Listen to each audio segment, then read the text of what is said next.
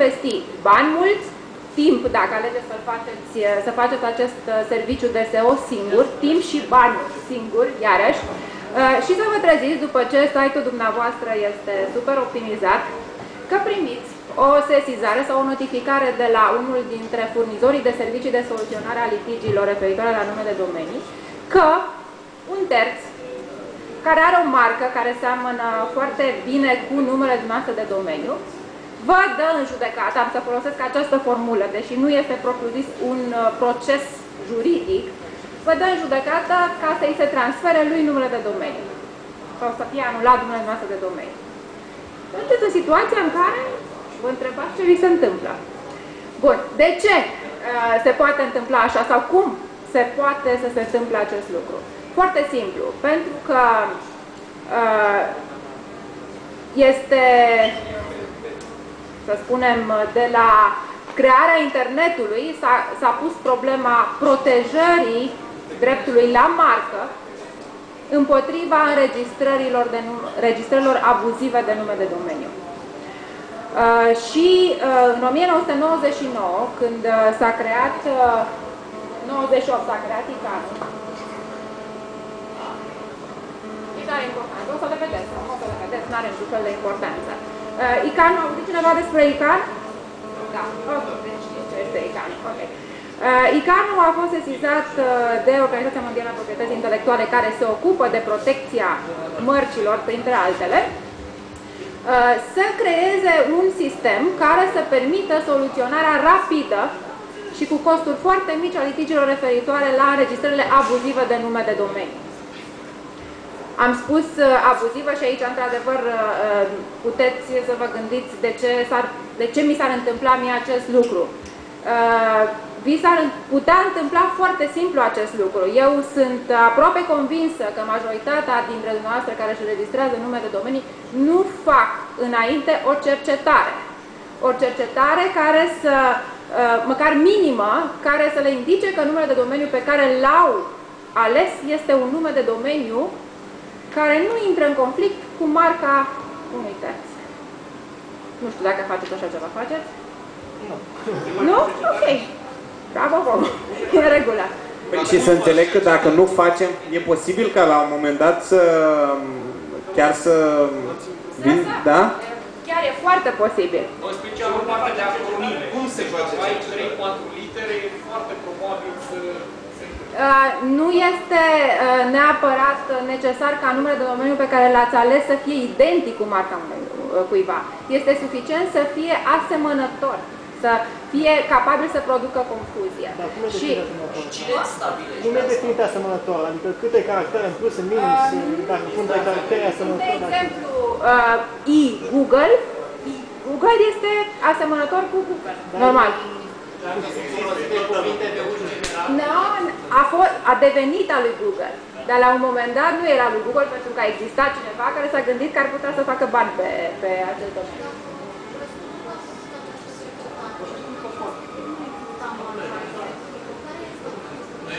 E o problemă cu nu exista marca respectivă. Um, sistemul, sistemul care a fost dezvoltat și despre care o să vă spun uh, uh, câte ceva pe scurt, uh, este un sistem care permite ca marca respectivă să nu fie neapărat înregistrată. Sunt state, pentru că este un sistem internațional. De aceea ICANU a fost implicat în, acest, în, ace, în producerea acestui sistem de soluționare, pe, de soluționare a litigiilor referitoare la nume de domenii. Uh, vă spuneam că nu e obligatoriu să fie registrată marca. România este printre statele care uh, înregistrează mărcile pentru a le face opozabile, adică dumneavoastră dacă vreți să aveți un semn distinctiv pentru produsele și serviciile dumneavoastră, vă alegeți un nume și vă ceți la o și îl înregistrați. Dar abia din momentul respectiv, serviciile dumneavoastră, produsele dumneavoastră sunt protejate de Uh, marca respectivă sau marca este protejată pentru serviciile respective. Sunt însă state, cum sunt uh, statele din sistemul de Camelot, toată lumea auzit de Camelot, nu? Statele Unite Americii, Marea Britanie, plus încă vreo 30 uh, de jurisdicții care permit ca o marcă să fie opozabilă numai dacă este folosită Deci nu e nevoie de să fie registrată. Este suficient să fie folosită. Și una dintre metodele de folosire a unei mărci în sistem de common law, care practic validează marca din punct de vedere al opozabilității, este inclusiv folosirea acestei mărci, poate, într-un sistem de SEO, adică, uh, cel puțin, îmi imaginez eu acum, că marca respectivă poate fi folosită în sistemul de SEO ca un cuvânt de căutare pe listele pe care le faceți dumneavoastră. Ok, deci uh, vă puteți afla în situația în care, după ce ați investit bani, după ce ați investit timp, să primiți o asemenea sesizare. Da. Dar cum se face cercetarea? Adică dacă vrei să afli înainte să-ți înregistrezi un nume de domeniu, dacă... De preferat să consultați un specialist care să vă facă cercetare. Sau puteți face și singur, pur și simplu. Să există majoritatea... Majoritatea nu, o secundă. Majoritatea sistemelor de înregistrare au și uh, uh, echivalent sau, mă rog, uh, un registru online pe care puteți să-l verificați. De exemplu, mărcile federale în Statele Unite ale Americii, există uh, posibilitatea accesării site-ului instituției respective, puneți marca respectivă și vă dă pur și simplu marca respectivă. Bun.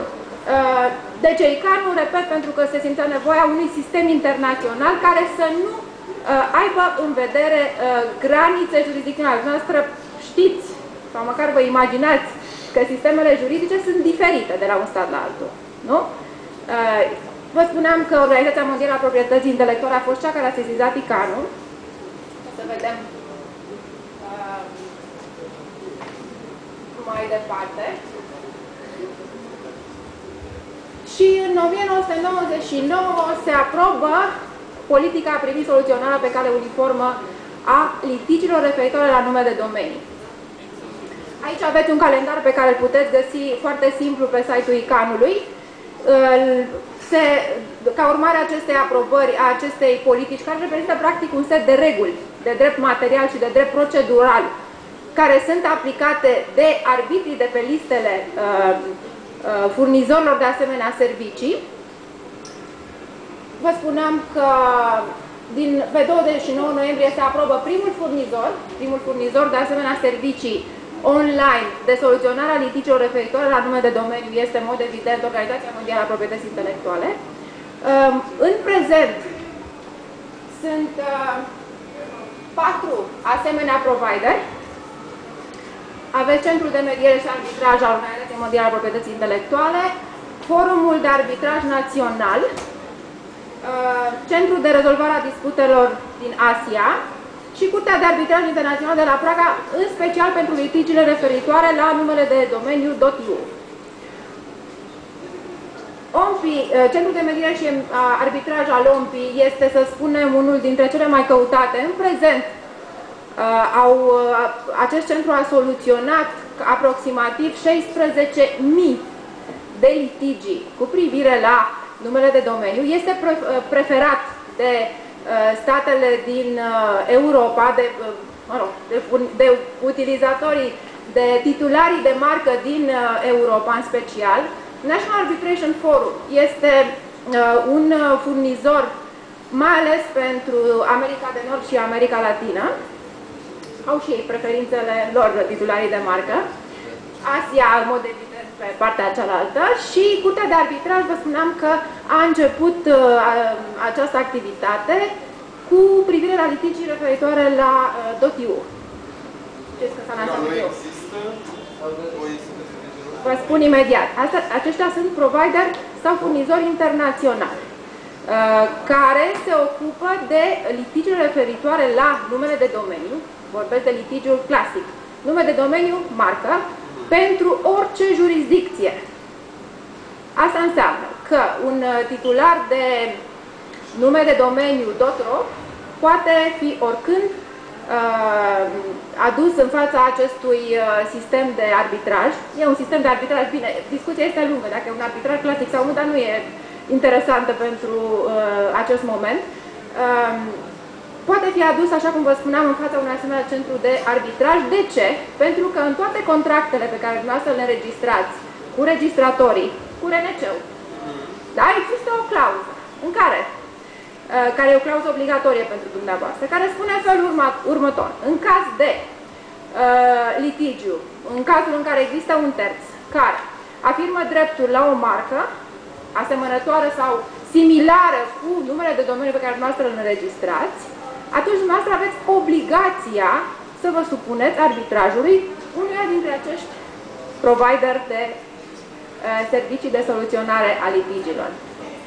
Dacă titularul mărcii alege să vă dea în judecată, repet, e o formulă nu neapărat corectă, da? pentru că te dai în judecată pe cineva în fața instanțelor de judecată.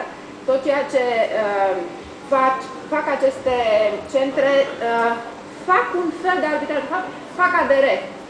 ADR înseamnă Alternative Dispute Resolution, adică metode alternative de soluționare a diferendelor. Altceva decât instanță. Deci, cum vă spuneam, aveți obligația să vă duceți uh, și uh, să vă faceți apărări. Să vă duceți, în mod evident, nu înseamnă să vă duceți uh, la Geneva, uh, uh, nu știu unde e National Arbitration Forum, la Praga, etc.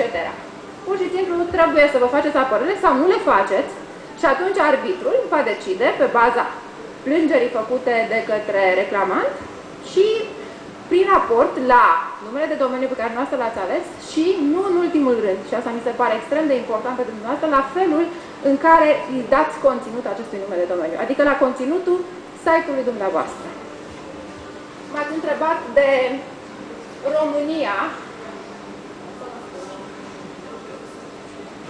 Am, am considerat necesar să vă dau câteva exemple de cazuri care au fost soluționate la Organizația Mondială a Proprietății Intelectuale. Vă amuză ceva? Samsung. Samsung? Ok. Asta au fost cazuri terminate. Terminate înseamnă că a fost sesizat centrul de arbitraj uh, și mediere, s-a început procedura, dar părțile au ajuns la un acord. Uh, Samsung, Danone, Adobe, Burger King, Borsec. Ați auzit de cazul Borsec, Borsec.ro? E un caz... Uh, Da, e de la advertising, care au înregistrat foarte multe și ei au avut foarte multe de la advertising, și foarte multe agențe. Au pierdut foarte multe domenii în genul ăsta. Vă spuneți de Da, pentru că fac limba De combinație. cazul Borsec. Cazul Borsec, Borsec.ro. Dumneavoastră, când auziți Borsec, vă gândiți la apa minerală, nu? Sau vă gândiți... Localitate. E și o localitate, sigur că da. Uh, Cei care uh, sunt titularii mărcii sunt o societate comercială relativ nouă, înființată, sau mă rog, cosmetizată în 2000. Uh, Au uh, chemat în judecată uh, o societate americană, care era o societate, spune societatea respectivă, eu am, uh, uh, pot să am acces și dumneavoastră puteți avea acces la decizie, nu la toate uh, actele din dosarul respectiv. Deci, cum vă spuneam, uh, societatea americană deținea Borsec.ro, deținea Tușnat.ro, um, Sighișoara.ro și așa mai departe. Uh, Interesant este că în pofida tuturor dovezilor referitoare la marcă, la notorietatea mărcii Borsec, Borsec, regina apelor minerale, nu se poate să nu fi văzut, că e uh, peste tot, toate televiziunile, cel puțin uh, o dată, nu știu, pe săptămână cred că au această reclamă. Uh, Vă spuneam că uh, în pofida acestor dovezi nu s-a putut dovedi că cel care a registrat marca mm, Dotro, Borsec.ro uh, în urmă cu 10 ani, deci era vorba de o înregistrare uh, veche. Uh, Vreau să vă atrag atenția, uh, nu niciuna dintre uh, niciunul dintre seturile de reguli care, după care funcționează aceste, aceste servicii uh, nu prevăd un timp în care titularul mărcii, un timp limit în care titularul mărcii să se poată adresa. Deci dumneavoastră puteți să aveți un site extraordinar uh, de 10 ani în care să fie cel mai SEO, decât nu știu dacă există cuvântul ăsta cel mai SEO, dar uh, posibil, și să vă treziți cu asemenea cerere din partea uh, unui titular de marcă în care să spună Domne, dar marca mea, eu folosesc marca asta de 11 ani și cel care a înregistrat uh, numele de domeniu habar n-a avut și dumneavoastră Dumneavoastră, de exemplu, obțineți bani, normal, din site-ul respectiv. Deci, iată, la registrat cu rea credință, etc. Bine, sunt câteva con- condiții pe care uh, trebuie să le îndeplinească un asemenea un asemenea nume de domeniu ca să fie anulat, respectiv transferat către titularul mărcii. Uh, dar, în cazul Borsec, așa cum vă spuneam, uh, numele de domeniu era registrat, se pare, cu 10 ani sau 11 ani în urmă, iar marca ca atare, Borsec, fusese registrată mai târziu. Acesta nu este neapărat un impediment. Există cazuri în care și marca registrată mai târziu, dacă vorbim de o marcă în sistem de common law, înregistrată totuși, să fie totuși considerată o marcă care asigură protecția produsului și serviciului respectiv sub semnul distinctiv uh, pe care îl reprezintă marca, uh, cu mult timp înainte de înregistrarea efectivă a mărcii. Dacă, de exemplu, uh, vine, nu știu, Coca-Cola, nu știu când a fost înregistrată Coca-Cola în clipa asta, Coca-Cola și spune, eu mi-am înregistrat marca în, nu știu, în Statele Unite ale Americii în 60, în anii 60 nu exista un nume de domeniu atunci. Dar hai să spunem, să luăm exemplu anii 90, 95, poftim. Bun. Coca-Cola să spunem că până atunci nu avea marcă registrată. Dar toată lumea știa de Coca-Cola. Coca-Cola este o marcă notorie. Îmi cer scuze că am o intervenție. Trebuie să fiu scurt. Colegile, colegile noastre de la ISEOM e, au uh, voie să, să scrie Google pe tricou? Nu. Uh, dacă au voie să scrie Google pe tricou. Depinde ce fac cu tricou respectiv. Se Asta este întrebarea mea, ce fac cu tricoul respectiv? De exemplu, dacă poartă acest tricou ca să se bucure de, uh, de, nu știu, de calea victoriei la această oră, uh, nu e niciun fel de problemă. Dacă poartă acest tricou ca să uh, indice un serviciu sau un produs pe care vor să-l vândă, atunci avem o problemă. Da, dar eu dacă cumpăr... Dacă e pe spate, tricou, și pe spate... Poate să fie și pe față și pe spate. Cât am piratat eu logo Google pentru cartea mea de vizită, m-am aflat că e ilegal, deci... Uh... Ok, uh, eu, pot să, eu pot să vă spun multe lucruri despre asta, dar uh, eu vreau doar să vă atrag atenția, vă rog frumos. Eu vreau doar să vă atrag atenția asupra unei asemenea, asemenea tip de surpriză. Bun, ce fac, ce fac acești provider de internet, de servicii de soluționare a chestiilor referitoare la nume de domeniu? Primesc o cerere din partea unui titular de marcă care vine și spune eu sunt titularul acestei mărci, arată și dovezile respective, Xulescu, Dotru, care a înregistrat Dotro în România, a înregistrat acest nume de domeniu cu rea credință nu are niciun interes sau drept legitim și marca, numele de domeniu este identic sau similar cu, numele, cu marca mea, numai ca să obțină profituri. Sau să mă împiedice pe mine să-mi uh, reflect marca într-un nume de domeniu. Uh, sau să, îl, uh, să mă facă pe mine să-l cumpăr de la el mai târziu pentru bani mulți, mai mulți decât cheltuielile de registrare, etc. Furnizorul de serviciu are o listă de arbitri online. Puteți să intrați pe oricare dintre furnizori, dacă ne întoarcem la adresele lor. Pe oricare din adresele respective o să vedeți că fiecare are o listă de arbitri. Primește plângerea de la titularul mărcii, verifică cu registrarul dacă persoana dacă numele titularului de domeniu este cel indicat în plângere, etc. Sunt niște, sunt niște verificări pur și simplu procedurale. Uh, dacă reclamantul optează pentru un singur arbitru, îl notifică pe părât și îi dă părâtului 20 de zile în care să răspundă. Dacă marca este identică sau similară cu numele lui de domeniu, dacă are un interes legitim sau nu în legătură cu registrarea numelui de domeniu, dacă a înregistrat sau utiliza, și utilizează numele de domeniu uh, cu rea credință. Cei mai mulți, uh, cei mai mulți părâți nu răspund, pentru că majoritatea acestui tip de registrări, și sunt convinsă că dumneavoastră nu sunteți printre cei care au făcut acest tip de registrări, sunt uh, cei care vor să profite de pe care Da, eu am câteva domenii, dar uh, nu zic care. Eu pot să zic că am avut patru cazuri până acum în care am primit așa ceva. Și era trei cazuri în care am și pierdut domeniul. Uh, era și uh, chestia care era, uh, erau pe niște... Zine un domeniu. Uh, de exemplu, flashnews.com.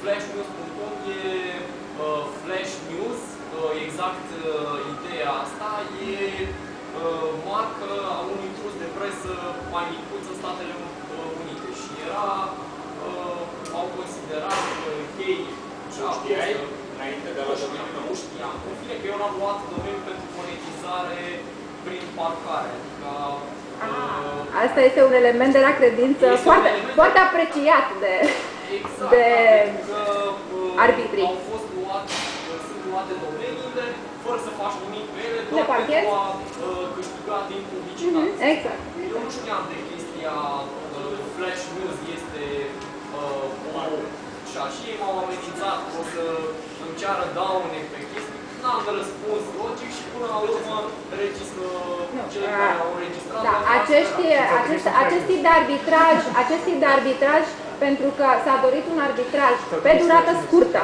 cu costuri mici. Pentru că taxele de arbitraj sunt uh, pentru un arbitru maxim 1500 de euro. Deci s-a dorit un arbitraj rapid, cu costuri mici, uh, în care să ai mai mult sau mai puțin control asupra persoanei care va fi numită, pentru că te poți uita, dacă e un singur arbitru, cam știi din lista, de exemplu, la OMPI sunt vreo 500 de nume. Uh, La National Arbitration Forum sunt vreo 150-180, iarăși la Curtea de Arbitrat, Curtea de Arbitrat, scuzați-mă, tot așa, vreo 200. Bun, deci ideea este că... uh, Altă, poți să povestești? nu, vreau să, nu, vreau să termin. Vă rog frumos, după aceea spuneți dumneavoastră ce vreți. Uh, acest arbitraj nu face decât să constate că, mar, că numele de domeniu a fost înregistrat cu încălcarea mărcii, pe condițiile, pe cele trei condiții despre care am vorbit, și transferă, fie transferă numele de domeniu la uh, titularul mărcii și dumneavoastră rămâneți uh, așa, bun, sau le anulează, ceea ce nu e cerut, uh, pentru că nu prea este cerut, pentru că e absurd. Că după ce îl anulează, vine un terț și îl înregistrează și iar ajunge titularul mărcii în aceeași situație. Deci niciodată aceste arbitraje nu acordă daune. Da? V-ați liniștit? Am întrebat. Daunele, uh, se În poate- instanță. În instanță se poate Sigur. uh, face o parte uh, fi- uh, cum se zice, civilă în care pur și simplu te dă pentru daune aduse, așa, dar o să vă mai dau două exemple care am avut New Jersey.org și iarăși am primit de la... Serios? Da, te gândești și da, se pare cât da, și Da, să și pare la un moment la dat. Las Vegas Casino. Ah. Bun.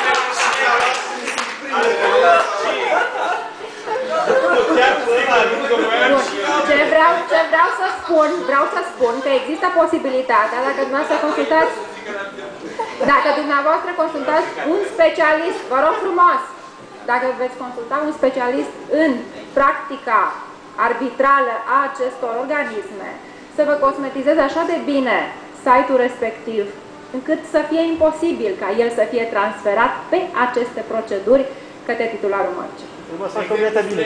Am o întrebare. Cuvinte generice, teoretic nu aveam cum să fiu înregistrat o marcă exclusivă. E o discuție și pe mărci alcătuite din cuvinte generice. Mare. Am o întrebare. Cum putem verifica dacă, dacă o marcă e sau nu înregistrată? Că eu în România lumea se ocupă pe ce? Am spus mai devreme. Era ale ale lase, ale lase, îi povestești și după. Ok, întrebări, ia, ia, pentru întrebări. Dacă să mă uit la clip. Deci noi am avut acum vreo 3 ani de zile o problemă de genul acesta la nivel național, adică ne certam cu Zapu pe vremea aia pe un nume de marcă. A fost foarte distractivă cearta cu ei, au cerut